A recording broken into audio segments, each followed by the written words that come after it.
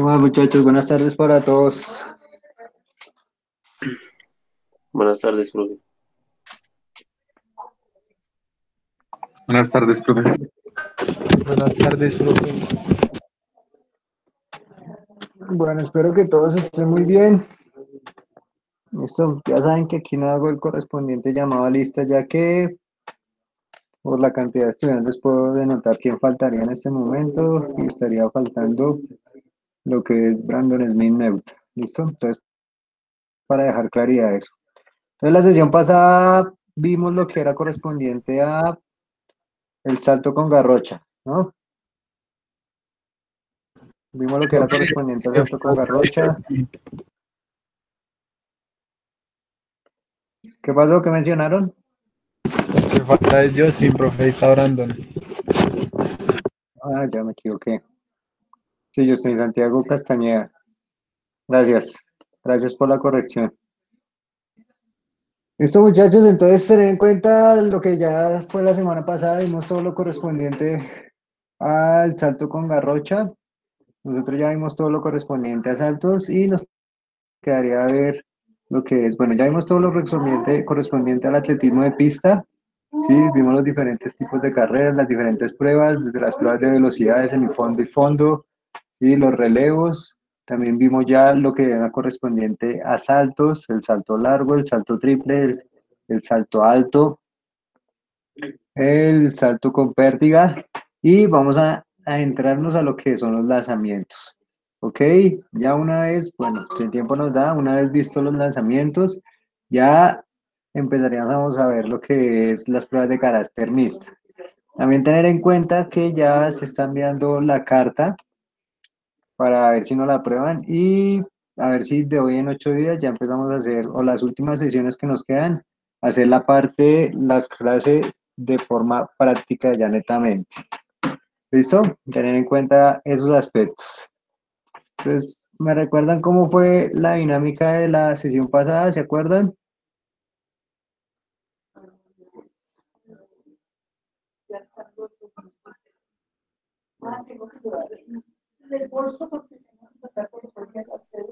Sí, profe, sí. ¿Sí recuerdan cómo fue la dinámica? Sí, señor. Listo, hoy vamos a trabajar de la siguiente forma, para que lo tengan ya presente. Digamos que podría ser similar a la dinámica pasada, pero la dinámica pasada, ¿cómo la trabajamos? En donde yo les daba una temática, ustedes buscaban de forma individual y socializábamos entre todos. ¿Listo? El día de hoy, ¿cómo la vamos a trabajar? Para que tengan nuevamente más participación ustedes. Yo en lo que es correspondiente a la plataforma, que ahí ustedes la pueden observar, ¿sí? En la semana 13, que es la que estamos en este momento teniendo, la que estamos llevando a cabo, y como ustedes pueden ver acá es lanzamiento con jabalina. Ustedes tienen acá un documento que les adjunté.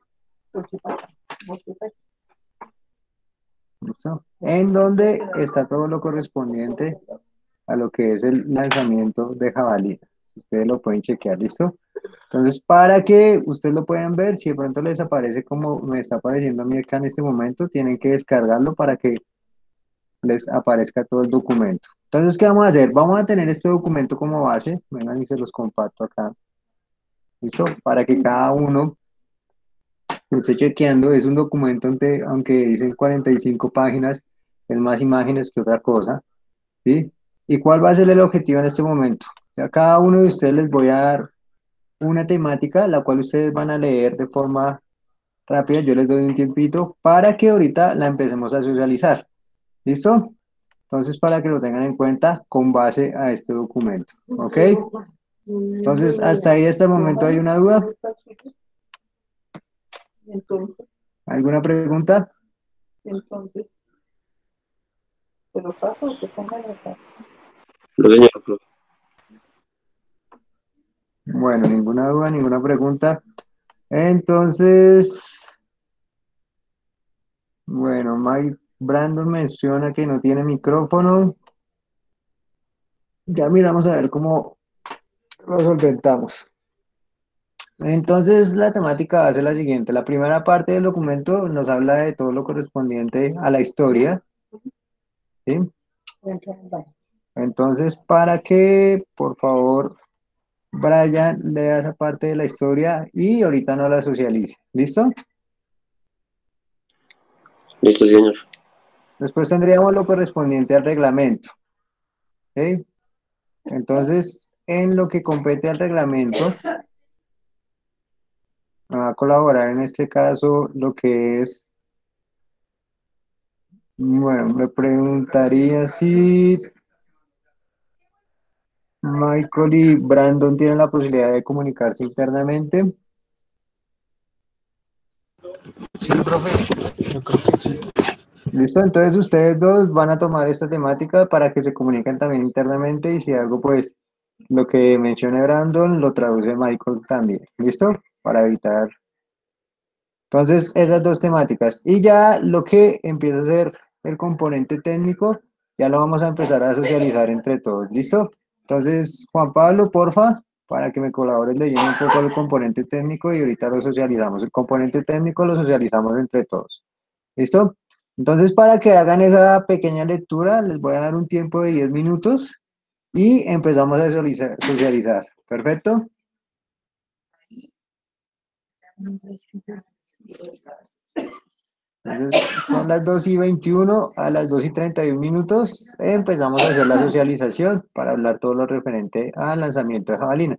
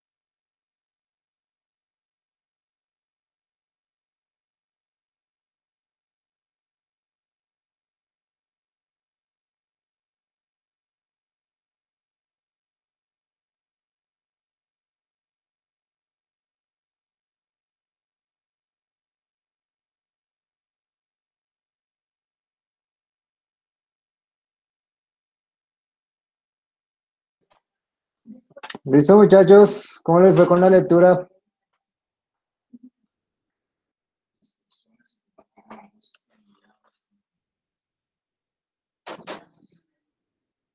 ¿Listo? ¿Están? ¿No están presentes? ¿Cómo les fue con la lectura? ¿Me confirman? Bien, bien, bien. Ok, entonces vamos a empezar con la socialización. ¿Listo?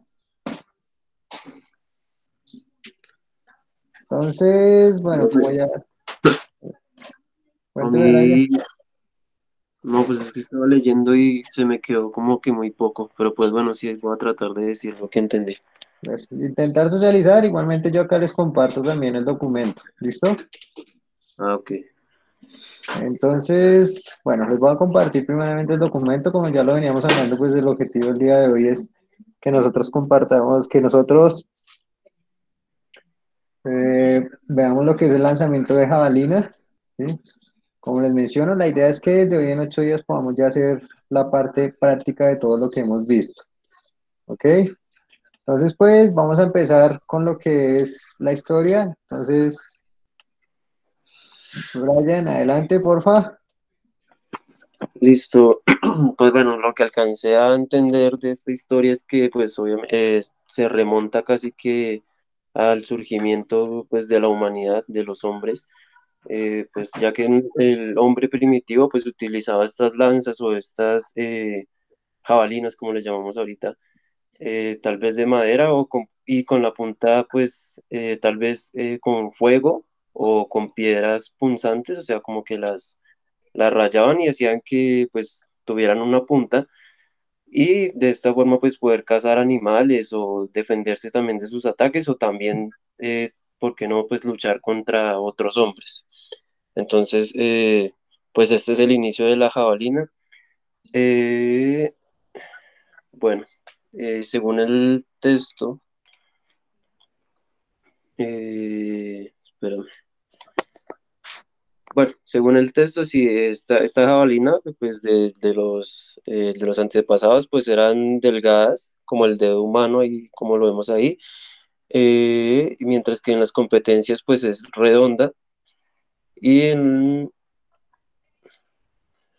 bueno, es que no quisiera leer lo mismo, pero bueno, y en la punta y el centro de gravedad era, pues, una, eh, había una correa de alrededor de 40 centímetros que se enrollaba entre ella y se introducía en el índice y el pulgar.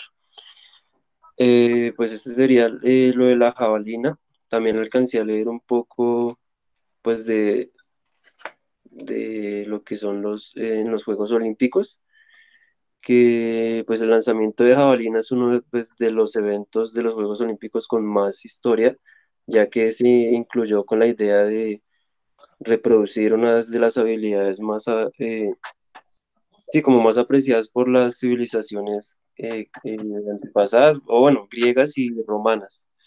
Eh, pues, ya como, como le dije ya, pues la jabalina se utilizaba como instrumento de guerra y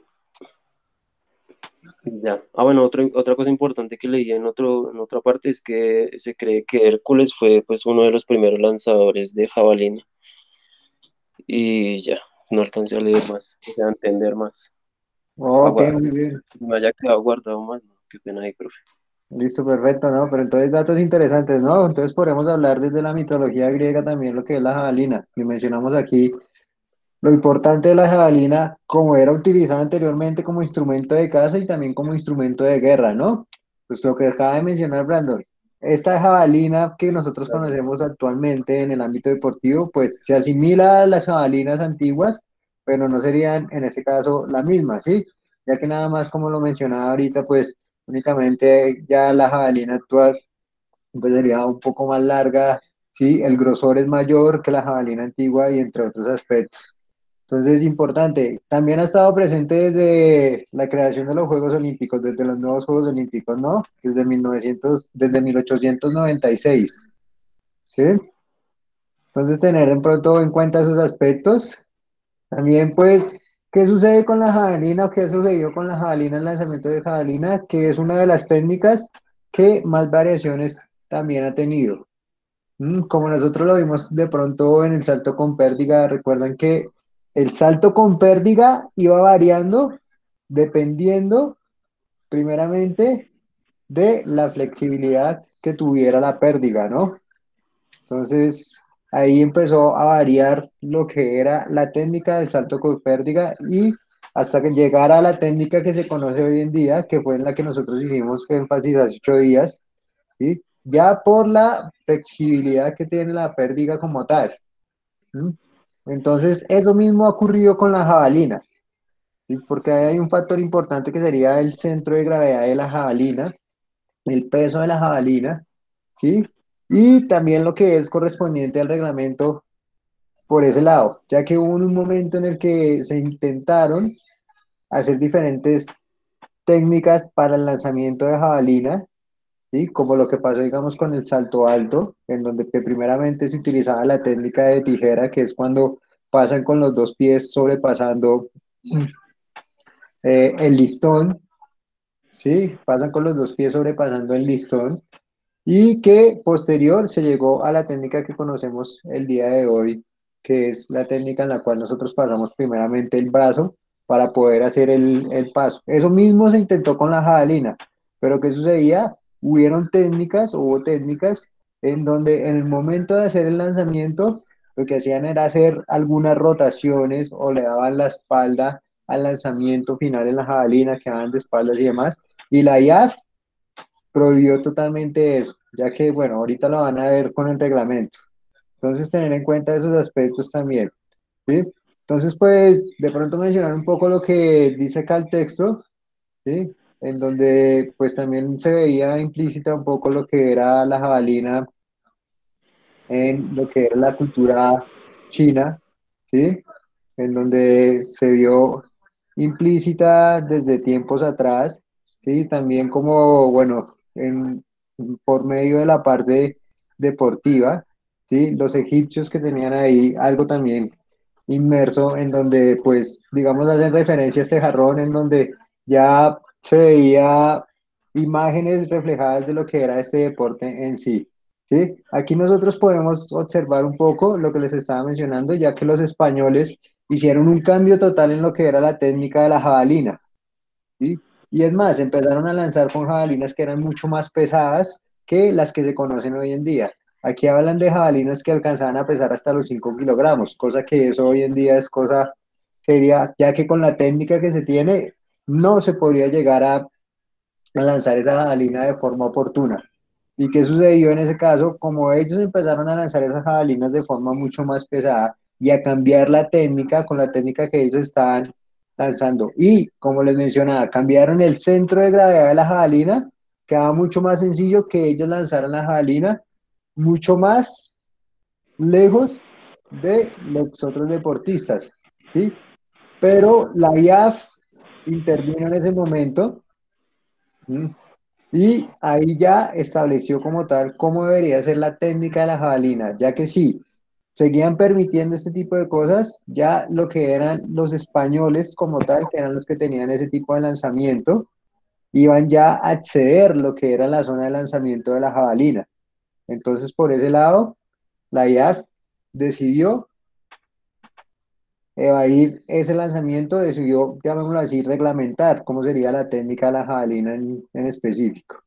¿Listo? Aquí hablaba un poquito de lo correspondiente a lo que es la historia colombiana para que lo tengamos en cuenta, en donde pues se le da mayor énfasis en lo que es a partir de los años 90 al lanzamiento de jabalina, porque pues, pues anterior a ello no se tenía algunos deportistas de carácter destacado, como lo podemos ver en otros deportes, ¿sí?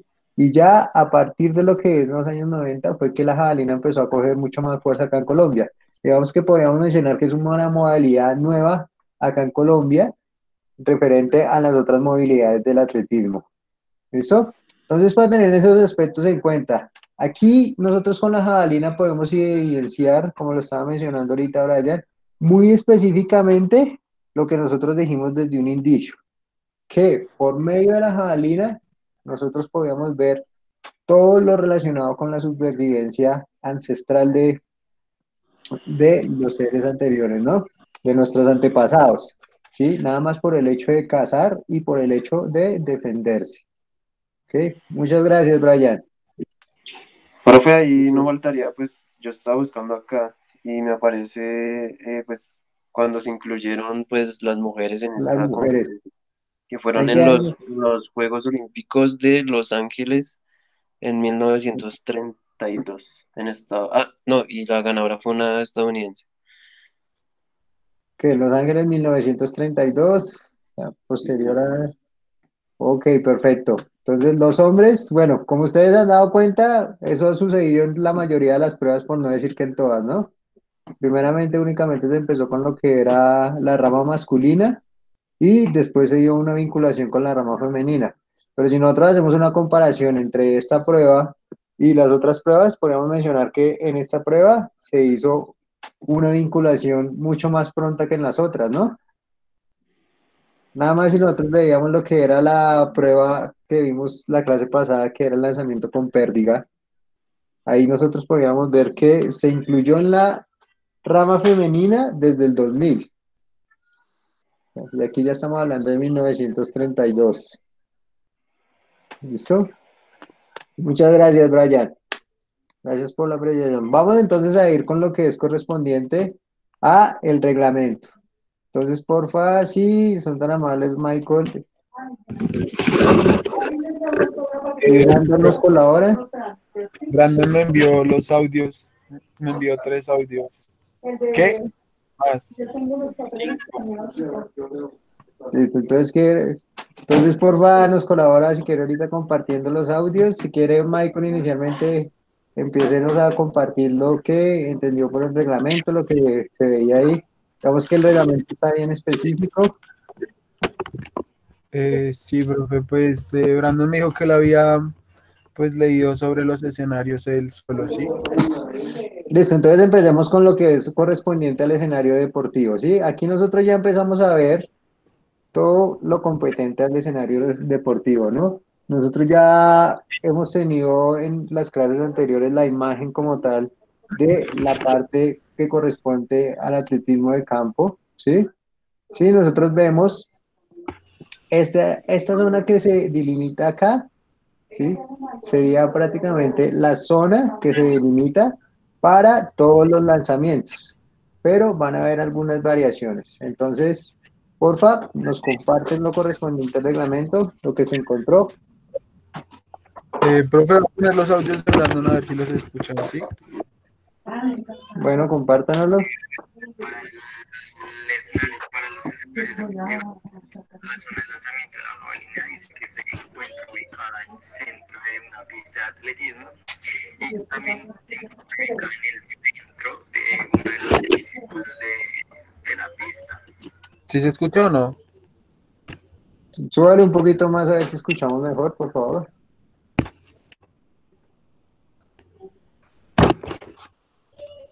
Eh, bueno, para el escenario, para los escenarios deportivos, pues la zona de lanzamiento de la jabalina dice que se encuentra ubicada en el centro de una pista de atletismo y que también se encuentra ubicada en el centro de uno de los Bueno, nos queda un poquito complicado, entonces vamos a empezar. Pues él hace, ahí habla de los escenarios. ¿Y usted alcanzó a leer sobre los escenarios, Michael? Sí, profe, pues ahí algo entendí que se divide pues en tres partes. Está el pasillo pues de lanzamiento, donde pues los corredores hacen como la, la carrera antes de tirar la jabalina, ¿sí? De llegar a la línea. Ok, entonces tenemos esa primera parte, ¿no? Entonces, como lo estaba mencionando, tenemos esta que sería la zona de lanzamiento, ¿sí? Sería el escenario, como lo podemos ver acá en la imagen, estaría ubicada dentro de lo que es la parte media de la pista de atletismo, ¿no? Entonces, tener en cuenta por, primeramente esa parte. Como lo estaba mencionando ahorita el compañero, pues se divide en tres zonas, ¿no?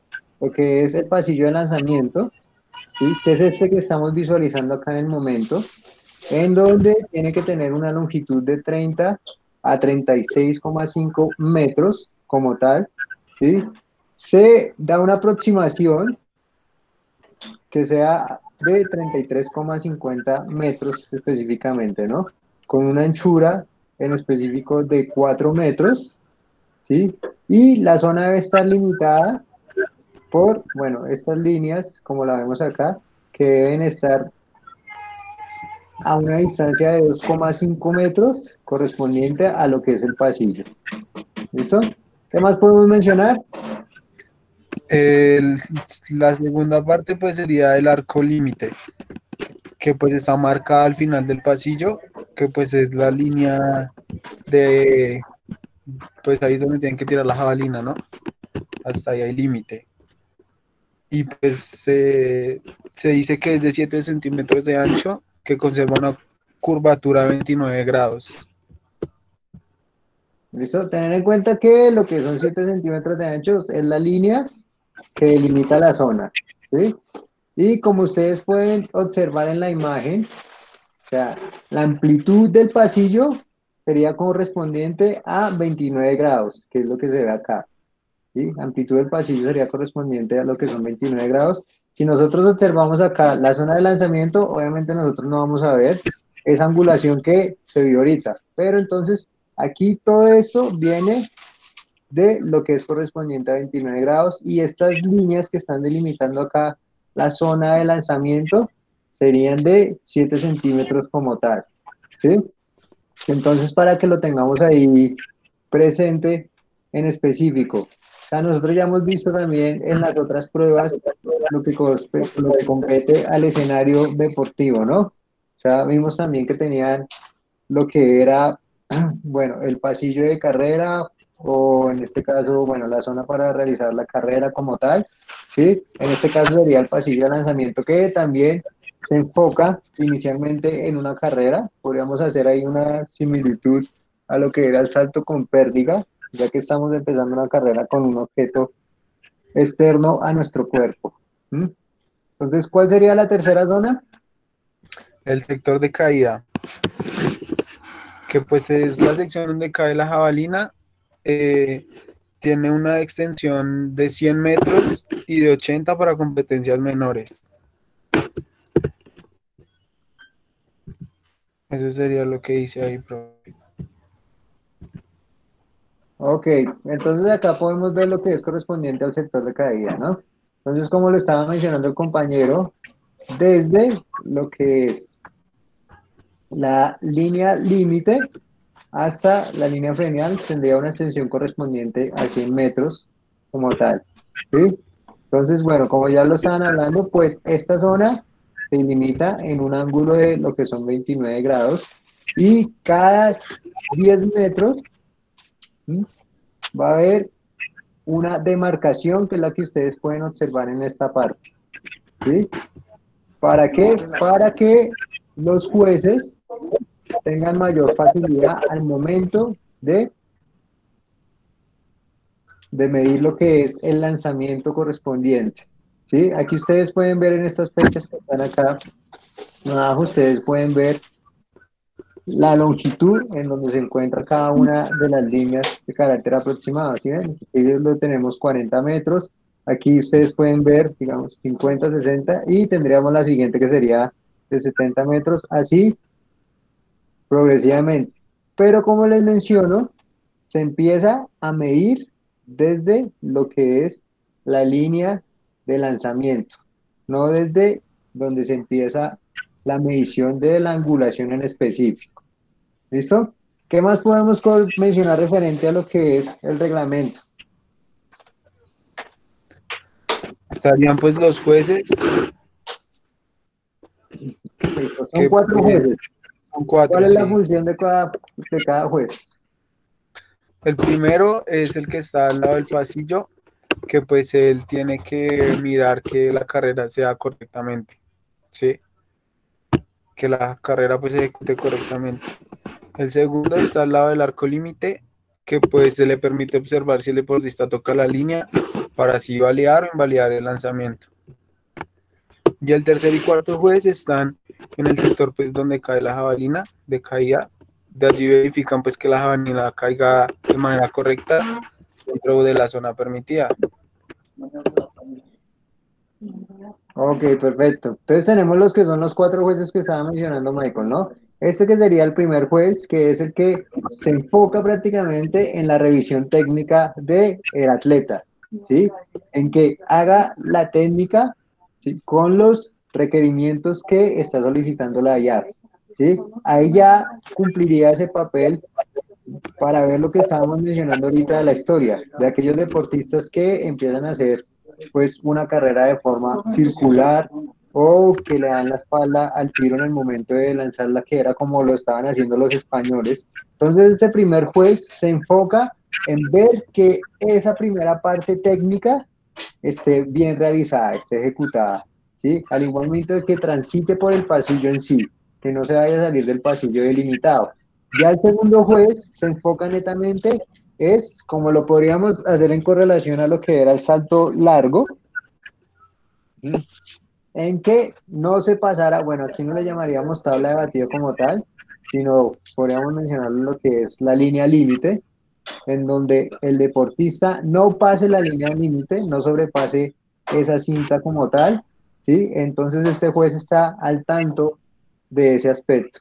Y lo que son los jueces 3 y 4, que ellos ya verifican primeramente que la jabalina haya caído en una posición correcta para que el lanzamiento sea válido y seguido de ello, pues realizan la medición neta de lo que fue el lanzamiento de jabalinas. Entonces tenemos estos cuatro jueces que son los indicados de darle validez o no al lanzamiento de la jabalina.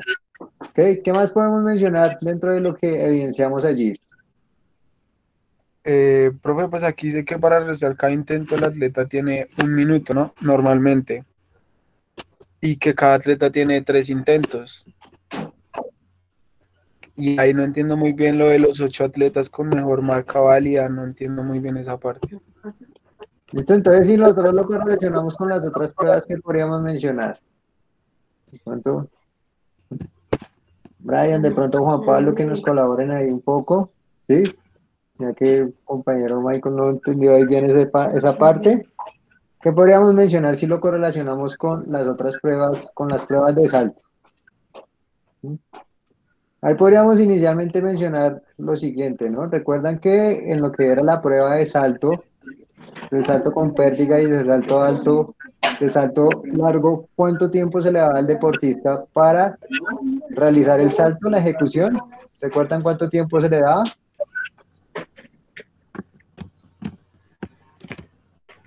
Brian, Juan Pablo, Brandon, ¿recuerdan?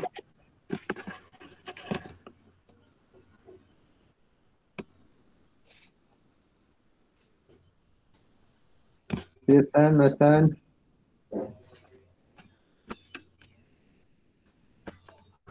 Bueno, entonces tener como referencia que en esas pruebas se les da un tiempo límite de minuto y medio, ¿no? Para que lo recordemos. Aquí únicamente se les está brindando ya lo que es un minuto al deportista. ¿sí?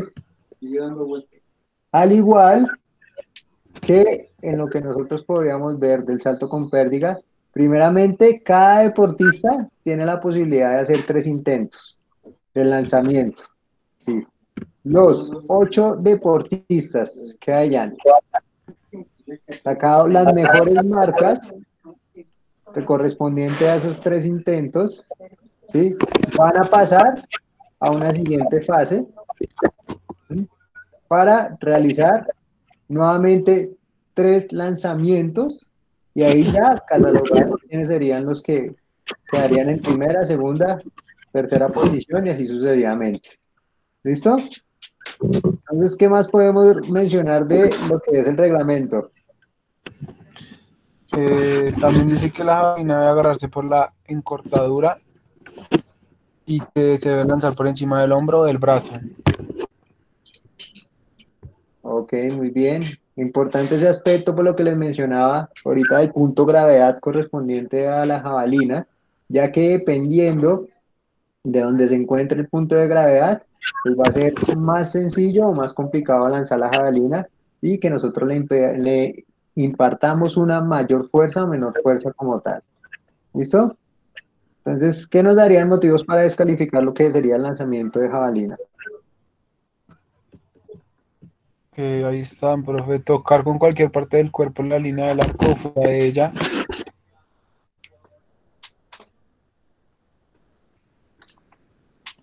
Sí, ese sería un primer motivo, que era lo que estábamos mencionando ahorita. Salir por el frente del arco o las líneas de prolongación. Listo, entonces tener en cuenta ese aspecto. Sí, el deportista, dado caso, hizo su lanzamiento bien, pero en el momento que sale, digamos que donde está la cruz sea el deportista, ¿sí? no tocó la línea de salida, pero en el momento en el que se retira del lanzamiento, sale hacia adelante, ahí ya quedaría totalmente desclasificado, independiente que ya hayan, bueno, el lanzamiento sería nulo, independiente de que ya hayan hecho la medición y todo, ¿sí? El deportista tiene que, por lo general, salir es hacia atrás. No puede salir por otro lado, si no sería un motivo para que el lanzamiento fuera nulo como tal. ¿Listo? Salir antes de que se produzca la caída de la jabalina. Entonces, tener ese aspecto también en cuenta. El deportista no puede salir de lo que es el pasillo antes de que la jabalina toque el suelo. Si la jabalina no ha tocado el suelo, queda también el lanzamiento nulo. Si la jabalina cae fuera del sector, pues debe ser cuando cae hacia los otros costados. Exacto. Si caería fuera de esta delimitación que tenemos acá que les estoy señalando por medio del mouse. Si la jabalina cae por fuera de esa limitación, allá el lanzamiento también sería totalmente nulo. El otro sería si la jabalina cae incorrectamente, la mitad delantera debe tocar primero el suelo. Exacto, entonces siempre debemos tener en cuenta que la punta de la jabalina, ¿sí? la parte delantera de la jabalina tiene que primeramente tocar el suelo. Si la jabalina al momento de caer cae con otra parte, ¿sí? el, lanzamiento sería totalmente inválido. ¿sí? En muchas ocasiones eh, no es tan necesario que la jabalina se clave en el suelo. ¿sí? Si la jabalina cae con la punta, pero no se clava, el lanzamiento sería válido. ¿sí? Entonces, para que lo tengan en cuenta. Listo, y el último motivo de descalificación sería que el deportista no realizara el lanzamiento en el minuto que se le brinda como tal. ¿sí? Bueno, aquí vamos a pasar un momento. Estos son aspectos que podrían ser de carácter de pronto un poquito más específicos, que no son tan fundamentales, pero si tienen en cuenta de pronto lo que son las zapatillas que utilizan los deportistas de jabalina, ¿sí? como ustedes pueden ver son zapatillas que podríamos mencionar son tobilleras, ya que por la ejecución técnica que ellos realizan, tienden a flexionar mucho lo que es el tobillo y estaría en grado alto de lesión, ¿sí?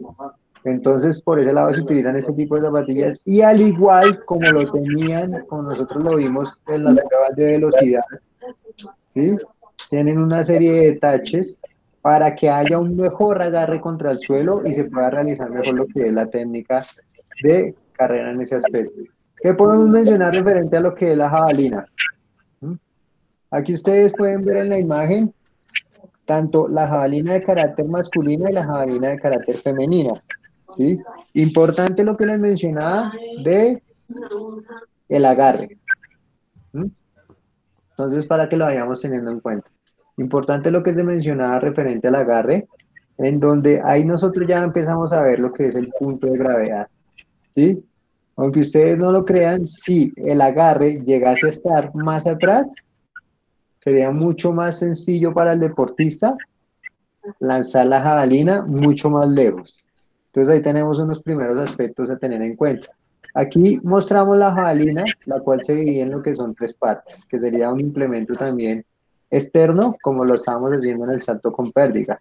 ¿sí? La primera parte que se conocería como lo la cabeza, ¿sí?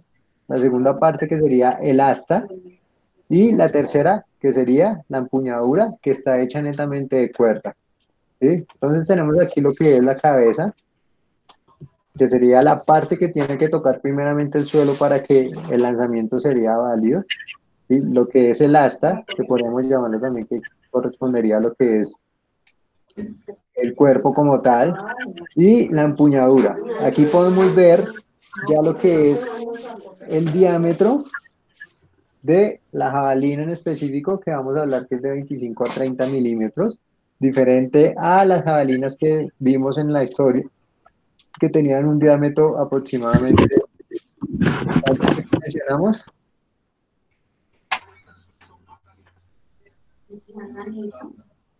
¿De cuánto fue que se mencionó el diámetro que tenían aproximadamente las jabalinas ancestrales, por decirlo así?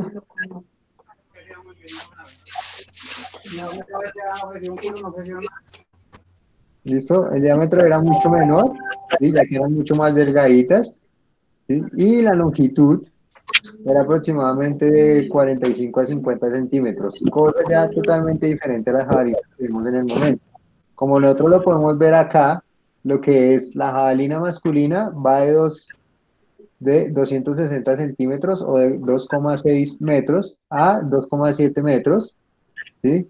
y la femenina de 2,20 a 2,30 centímetros. Entonces, tener en cuenta ese aspecto, ya que ese va a ser un implemento a utilizar, ese sería el implemento neto para el lanzamiento de jabalina. ¿sí? Bueno, ¿qué podemos mencionar acá? Como les mencionaba, lo correspondiente al centro de gravedad. ¿sí?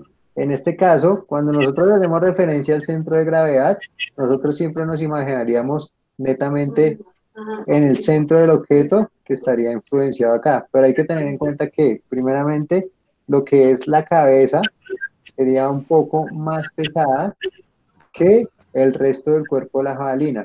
Por ende, el centro de gravedad, que es donde se encuentra la empuñadura, va a estar más adelante. Pero como les mencionaba, eso también influye en lo que es el lanzamiento y la longitud que logra alcanzar el deportista en el momento en el que haga el lanzamiento. ¿Sí?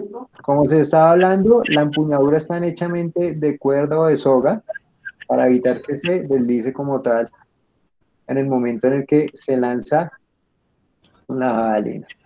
¿Ok? Entonces podemos hablar acá un poco de lo que es el peso que debe tener la jabalina. ¿sí? Ya para los hombres sería un peso máximo de 800 gramos y para las mujeres, en este caso, sería un peso máximo de 600 gramos. ¿Ok? Aquí podemos ver este cuadro en donde se pueden ver lo que habíamos hablado anteriormente, ¿sí?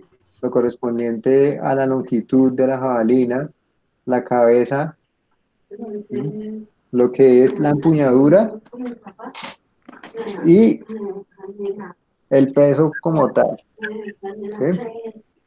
Entonces, para que lo tengamos ahí en cuenta con este instrumento. ¿Listo? Entonces, hasta ahí, hasta el momento, ¿tienen alguna duda, alguna inquietud? Aún más que todo, conocimiento del instrumento, ya conocimos un poco la historia, el reglamento. ¿Alguna duda, alguna inquietud?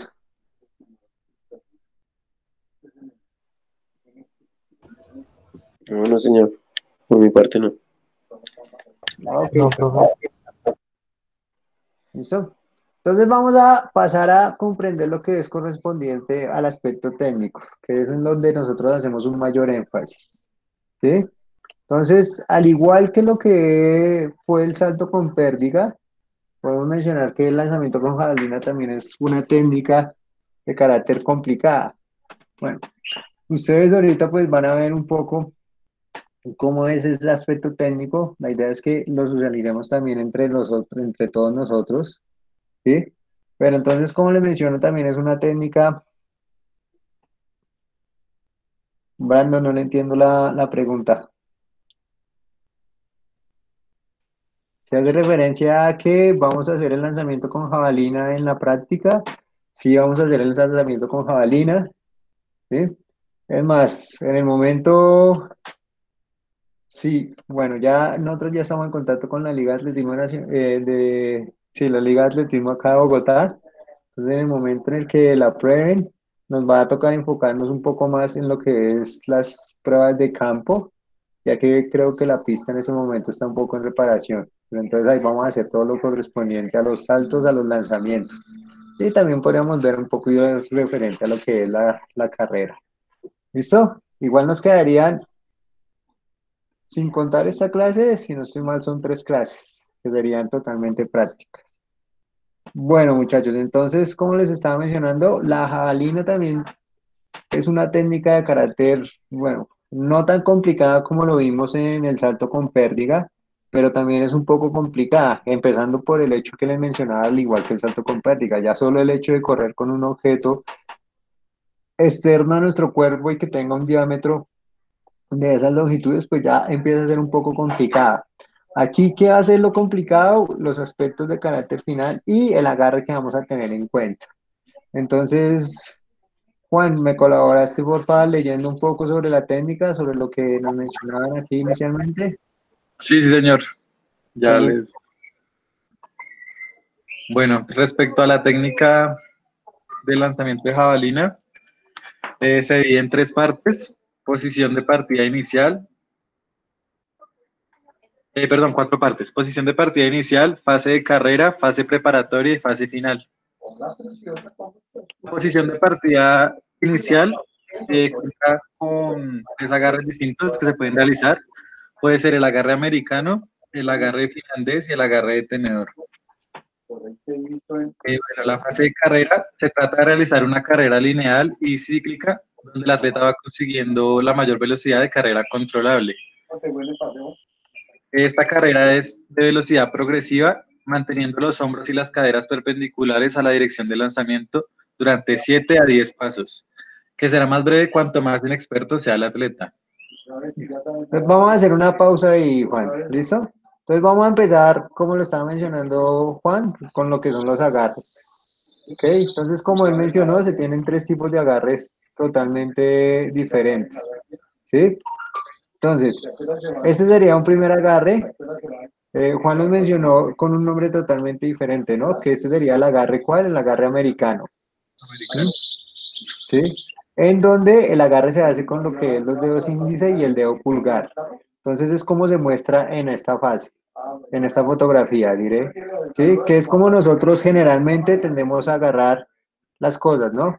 Entonces aquí nosotros lo que hacemos es redondear el agarre con nuestra mano, en donde lo que hacemos es abrazar la jabalina con nuestra mano, ¿sí?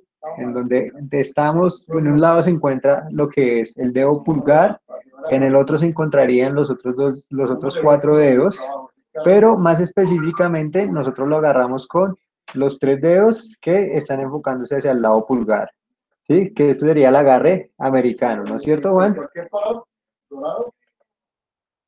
Sí, señor. Este sería el agarre finlandés, en donde nosotros hacemos el agarre con el dedo medio y el dedo pulgar únicamente. Si ustedes logran ver acá en la fotografía, ustedes ven el dedo medio que estaría, eh, el dedo medio que estaría sobre la parte superior de la jabalina, ya lo que es el dedo índice no estaría agarrando la jabalina, ¿sí? O sea, sería similar al agarre anterior, con la diferencia de que este dedo, el dedo índice, estaría debajo de la jabalina, no lo estaría agarrando como tal. ¿sí? Entonces ahí ya tenemos una diferencia de esos dos agarres. Y tendríamos el último agarre, que sería este agarre, que se le conoce como el de tenaza u ortopédica, en donde, bueno, a mi apreciación personal sería el más complicado de realizar, ¿sí? Ya, y que no le daría tanto sustento sujeto a la, a la jabalina, por como lo, nosotros lo podemos ver a- ahí en ese caso. ¿Sí? Entonces, como ustedes lo pueden ver, pues ahí ya lo que nosotros hacemos es involucrar el dedo índice o acompañar lo que es el dedo índice, el dedo pulgar con el dedo índice. ¿Sí? Y los otros dos, los otros tres dedos estarían en el costado externo, que también se le conocería como el agarre tenedor. ¿Listo, Juan? Entonces continúa, porfa. Bueno, listo. Entonces, eh, la siguiente sería la fase, la fase preparatoria, fase acíclica, donde se prepara la jabalina para ser lanzada con el máximo de eficacia. Dice que la jabalina se irá retrasando mientras el cuerpo avanza a lo largo de 4 a 7 pasos. Los hombros giran hasta colocarse en la dirección del lanzamiento, mientras el brazo se extiende hacia atrás y arriba, manteniendo la jabalina siempre por encima del hombro y ligeramente hacia el interior. Los apoyos son más activos y la velocidad se incrementa de forma notable adelantando los pies al tronco. Y las caderas también giran como los hombros mientras las zancadas pasan a ser cruzadas. Después Ok, vendría bien. Listo, entonces ahí tener en cuenta que empezamos con la posición inicial que ya lo había mencionado Juan, ¿no? Sí, que esta posición es de carácter libre para cada uno de los deportistas. Digamos acá en la fotografía lo podemos observar. Podemos observar ahí al deportista con la flexión del brazo aproximadamente 90 grados. Ya la jabalina se sujeta con la mano o el brazo hábil que nosotros tengamos, ¿sí? Sería similar a lo que vimos también en el, en el salto con pérdiga, en donde la mano que iba al lado de la cadera sería nuestra mano hábil, que es la que va a dar al final toda la fuerza, ¿no?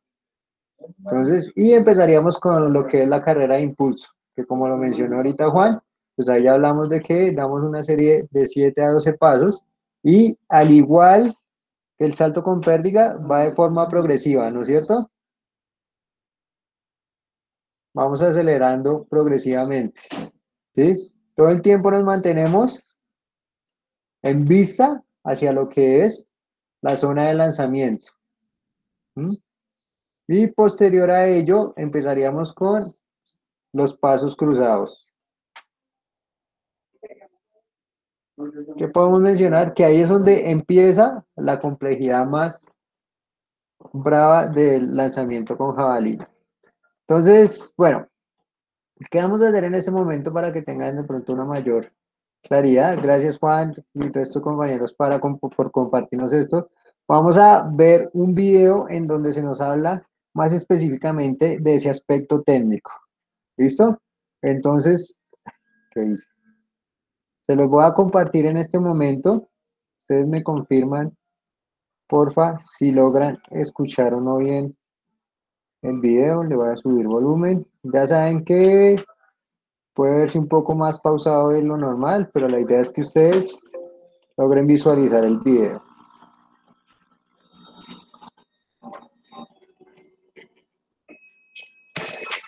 Posición inicial. Esta ¿Me confirman si sí escuchan? Sí, señor. Listo, perfecto. Entonces les voy a compartir aquí el video. al comenzar su lanzamiento es específica e individual. Es para el atleta el proceso de concentración y preparación.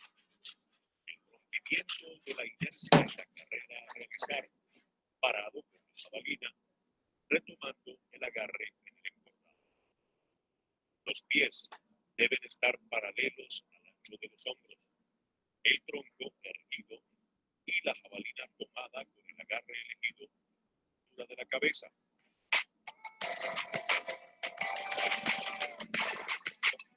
Carrera de impulso. Es la aceleración que debe asumir el lanzador progresivamente para tratar de transmitirla a la jabalina. Se debe realizar de una manera fluida y relajada, como si fuera un velocista en la forma de correr y con la rapidez que los caracteriza, pero al mismo tiempo de una forma controlada. Esta carrera puede ser de 7 a 12 pasos, dependiendo de cada deportista, de su maestría técnica y de su zona óptima de aceleración, es decir, la distancia necesaria para alcanzar la aceleración adecuada.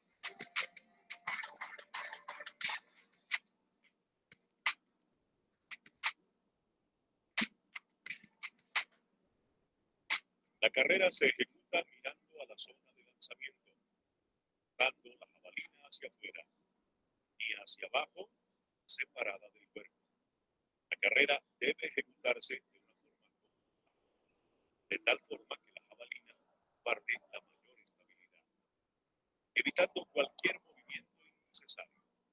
La jabalina debe ser transportada con el brazo flexionado a la altura de los ojos y no más arriba de la parte superior. Esta carrera se transformará a partir de las marcas de control que ponen los deportistas en el ritmo de cinco pasos. Estas marcas se ubican a un costado de la zona del pasillo de lanzamiento y depende del espacio que cada deportista considere necesario ejecutar los cinco pasos siguientes. Ritmo de cinco pasos pasos cruzados. Aunque también se le denomina pasos cruzados, realmente solo se realiza uno. Y aunque hablamos de cinco pasos, el esfuerzo final es una sola fase y está incluida en ella. Es en esta parte donde se retrasa el implemento y se prepara el cuerpo para ejecutar el lanzamiento. Primer paso. Se realiza llegando con la pierna izquierda a la En este paso se empiezan a adelantar las piernas al tronco. Se comienza a llevar el brazo del implemento hacia atrás o manteniendo el brazo en posición paralela al piso. La mirada del atleta debe estar dirigida al área del lanzamiento. Segundo paso. Se realiza con la pierna derecha, llevando la jabalina hacia atrás con el brazo semiextendido y manteniendo el codo en alto.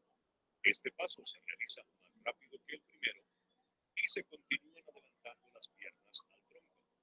Es decir, el centro de gravedad avanzará al tiempo que la jabalina se aleja del hombro izquierdo y la punta cerca de la cara del lanzador. Tercer paso. Se realiza con el pie izquierdo y sus apoyos deben encontrarse en los bordes externos del talón, llevando el implemento hacia atrás con la palma de la mano hacia arriba, girando los hombros 90 grados hacia la derecha. Piernas se adelantarán al tronco, mientras la jabalina se alinea con los hombros. La vista debe seguir dirigida hacia la zona de lanzamiento y las piernas van buscando mayor aceleración. Cuarto paso o paso impulsor. La pierna derecha cruza a la izquierda, mismo nivel, por arriba de la rodilla. Cadera, tina y los hombros deben estar alineados en forma paralela, mientras que el brazo que porta la jabalina debe estar extendido hacia atrás. Este paso es muy amplio, pero rasante. La vista sigue de frente a la zona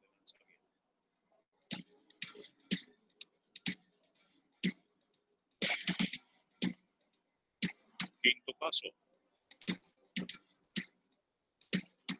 La pierna y la cadera derecha deben ir hacia adelante, mientras la cadera y pierna izquierda deben bloquear el lanzamiento.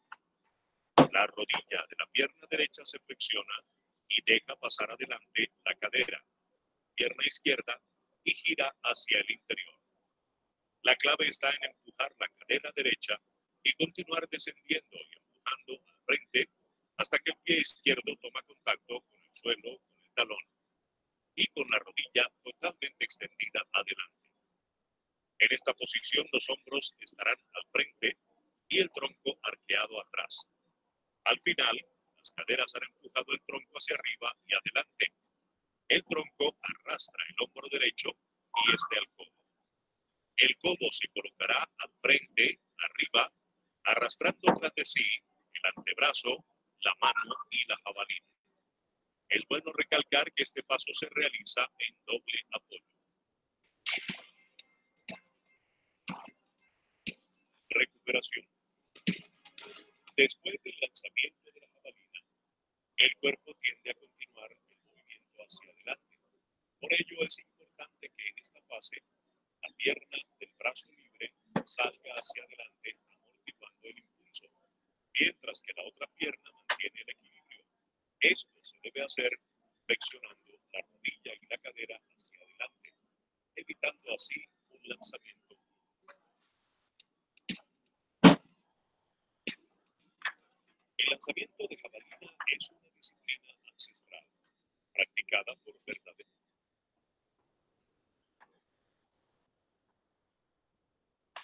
Bueno, muchachos, ¿qué me pueden mencionar referente al video que les acabo de mostrar del aspecto técnico?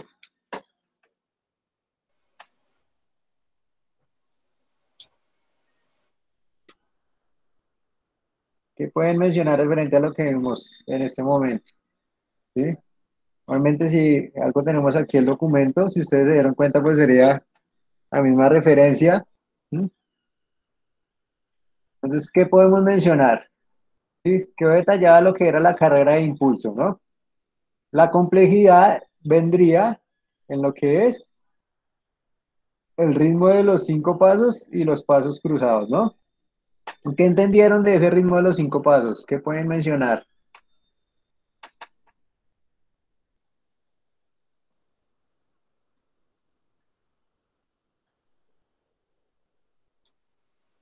Michael, Brian, Brandon, Juan Pablo. Eh, eh, lo que yo alcancé a ver, esos cinco pasos se dan como, como horizontalmente o, o es como una carrera normal. No, yo vi que eh, la, care- la cadera estaba girada horizontal. Exacto. Ahí sí sería, bueno, como menciona Brian, sería horizontal, podríamos mencionarlo, como lo está mencionando aquí Brandon, podríamos decir que es cruzado, ¿sí? Entonces, tener en cuenta que en el momento que nosotros vamos a empezar a hacer esos cinco pasos, digamos, ustedes pueden ver acá ya el deportista que empieza a girar lo que es su tronco y sus piernas, ¿sí? Hay una marca que ellos colocan en el suelo para ellos saber en qué momento empezar a hacer esos cinco pasos. ¿sí? Que era, digamos, podríamos hacer similitud con lo que era el salto largo, en donde mencionamos que ellos tenían una marca que colocaban para identificar cuál era el inicio de su carrera. Aquí es lo mismo. En este caso, nosotros empezamos a girar en el momento en el que llegamos a esa marca. Primero hacemos la carrera de inicio, que es como la que se muestra acá, que podríamos hacer la similitud con lo que se hacía en el salto con pérdiga, o mencionamos que también sería una carrera de carácter circular, similar a la carrera circular, ¿sí? Cuando empezamos cuando llegamos a la zona en donde tenemos la marca, ahí nosotros empezamos a hacer el giro de nuestro tronco y de nuestro cuerpo, ¿sí? Tener en cuenta que el brazo que está atrás sería el brazo que llevaría la jabalina como tal y empezamos a hacer los pasos de carácter cruzado, ¿sí? como lo podemos ver en esta imagen, en donde vamos adelantando, bueno, en este caso sería nuestra pierna que es la que lleva el brazo, ¿sí? posterior a la pierna de carácter inhábil. Dependiendo del número de pasos que vamos llevando, vamos haciendo una completa extensión de la jabalina, porque ¿cuál es el objetivo? Que nuestra fuerza o nuestra energía que tenemos en ese momento se la transmitamos totalmente a la jabalina. ¿sí? Entonces, vengan y les muestro. Aquí ustedes ya pueden observar más netamente cómo se está realizando ese paso de carácter cruzado, como se mencionó, pues eran, son cinco pasos. Y van enfocados, digamos, aquí estamos hablando de lo que es el tercer paso, en donde ya lo que son los hombros tienen que estar totalmente en, en equidad, por decirlo así, ¿sí? El brazo ya estaría en una semiflexión, semiextensión, casi totalmente extendido, ¿sí? Y ya ahí, pues estamos ya en un giro total de 90 grados referente a lo que es la zona de lanzamiento. Entonces, para que lo tengamos ahí en cuenta. Miren, aquí podemos observar lo que se les estaba mencionando anteriormente, de lo que es la pierna hábil, va a ir adelantando a la pierna inhábil al momento de hacer esos cinco pasos cruzados o los pasos de impulsión. Aquí ya podemos ver que el brazo está prácticamente totalmente extendido, el brazo que va a hacer el lanzamiento de la jabalina. ¿Mm? Es importante ese último paso, que es donde se le aplica toda la fuerza a la jabalina para realizar el lanzamiento. ¿Sí? Aquí aplicamos toda la presión y toda la fuerza sobre nuestro lado hábil. ¿Y qué hace nuestro lado inhábil? Se está preparando para frenar esa misma fuerza que nosotros le estamos aplicando al lanzamiento de la jabalina. ¿Mm? No sé si logran comprender ahí lo que les estoy mencionando en ese caso. ¿Cuándo? Cuéntenme. Eso no hay ningún lío. Entonces, bueno, Entonces acá nosotros aplicamos toda la fuerza de nuestro lado hábil para hacer el lanzamiento de la jabalina, sí hay. ¿sí? Y lo que es el pie izquierdo, bueno, en este caso pues hago correlación a la fotografía que estamos observando y haría correlación a mi fotografía. Se prepara para hacer la frenada de esa impulsión o de esa fuerza.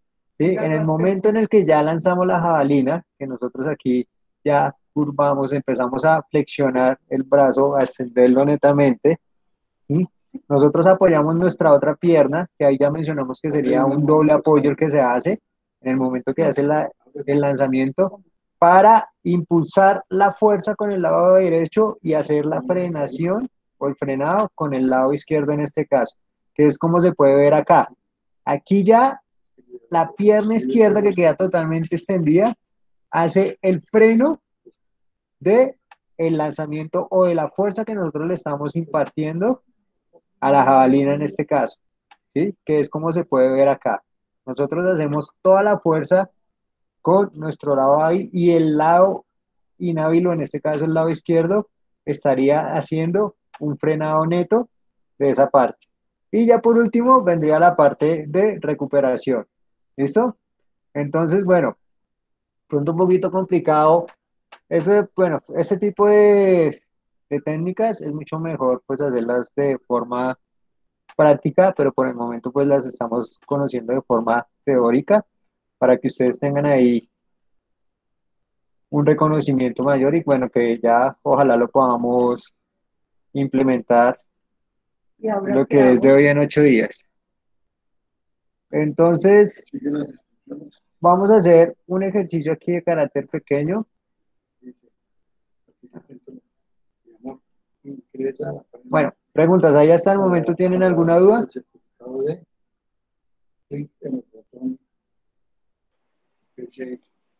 Bueno, aquí Brandon pregunta que si uno puede realizar más pasos.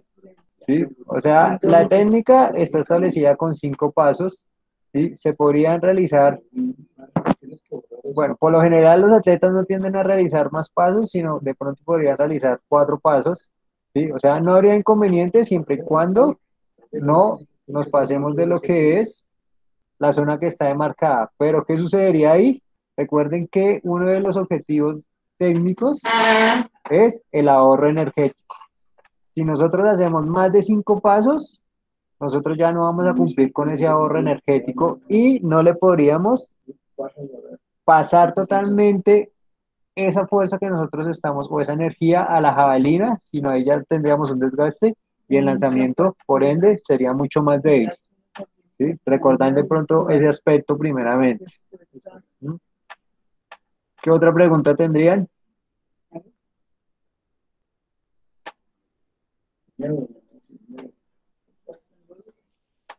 ¿Alguna otra pregunta? ¿Alguna otra duda? No, señor. ¿Alguna? Bueno, entonces voy a tener la grabación